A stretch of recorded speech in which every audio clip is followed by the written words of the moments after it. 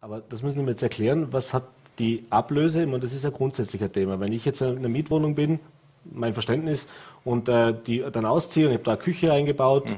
dann hätte ich gerne eine Ablöse dafür. Mhm. Da gibt es jetzt verschiedenste vertragliche Konstellationen, wo ich sagen kann, das ist vorher schon vereinbart worden oder eben auch nicht.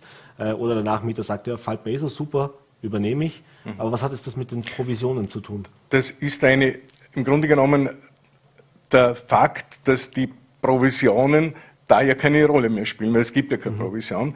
Aber die Vermieter sind ja dann froh, einen Nachmieter zu haben, mhm. meistens einmal. Mhm.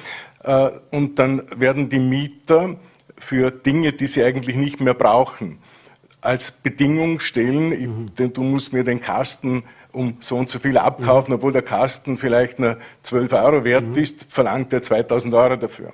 So, solche Dinge gibt es und nachweislich. Das ist ein Fakt, den man auch berücksichtigen muss. Mhm. Was, was wesentlicher ist, meines Erachtens, ist eben die sogenannte Haftungspflicht des Maklers, die natürlich gegenüber dem Mieter wegfallen wird. Mhm. Weil wenn der Auftraggeber der Vermieter ist, dann ist das mein Capo. Der, mhm.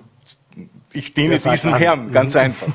Äh, ich suche zwar den Mieter, aber es ist auch im Gesetz, so wie ich es jetzt gelesen habe, nicht vorgesehen, dass der Makler trotzdem die Haftung für den Mieter mhm. übernehmen wird müssen. Mhm. Das heißt also, es fällt eigentlich meines Erachtens, und das ist das, was ich sehr kritisiere, konsumentenschutzrechtlich die äh, Haftung für den Mieter weg. Das heißt, der Mieter muss selber schauen, wie er zu seinem Recht kommt.